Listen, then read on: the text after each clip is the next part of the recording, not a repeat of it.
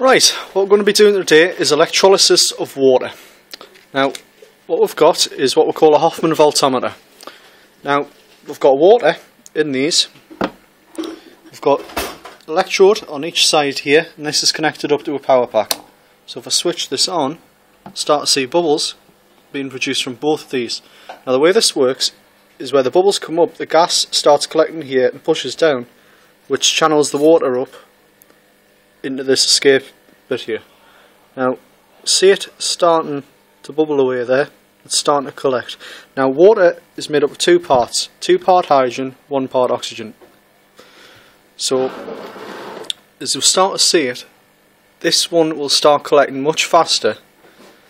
Twice the amount. That'll be the hydrogen getting collected there, and that'll be the oxygen. Now, the way we test for hydrogen is what we call the squeaky pop test. We'll be taking a lit flame and put into the test tube at the top.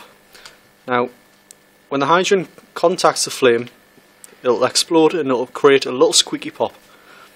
When we do the test for oxygen, we put in a, wooden, a glowing wooden splint into it and it should hopefully relight it. So we'll just leave this for a few seconds to collect. We can already see it's starting to collect more here than on here. So we'll just leave it for a few minutes just to settle away.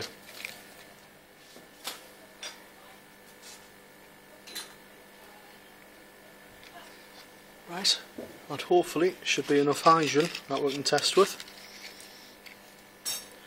So, just going to light the splint up and we'll do.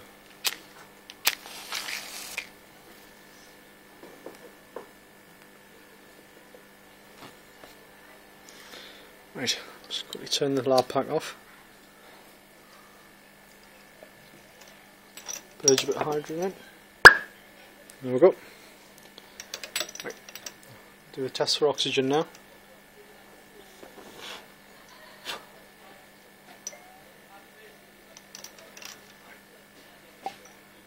Yep, there we go. It's relit the splint.